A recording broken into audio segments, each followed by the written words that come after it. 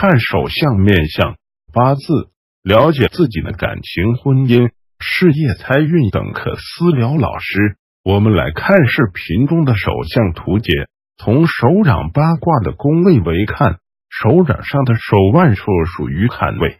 坎宫从五行来说属于水，水主流动性，也主欲望，也代表感情。如果这个位置上有竖纹，而且数量多，代表这个人的桃花一定很旺。因为坎宫属水，竖纹多也是属水，代表水旺，水旺即为桃花旺。